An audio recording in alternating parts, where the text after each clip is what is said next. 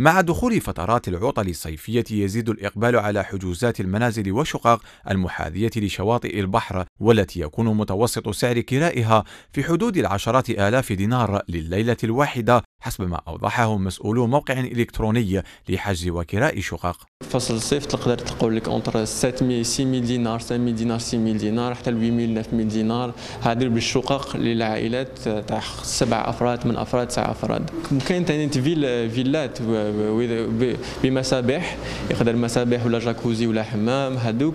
à partir de 15000 دينار 16000 دينار كيما في الجزائر العاصمة راهي تباك دور 20000 ولا 20000 22000 لليلة. ارتفاع الطلب على كراء الشقق والفلل المحاذية لشواطئ البحر بموسم الاصطياف جعل معظم المنازل محجوزة. من ليلة إلى 30 ليلة.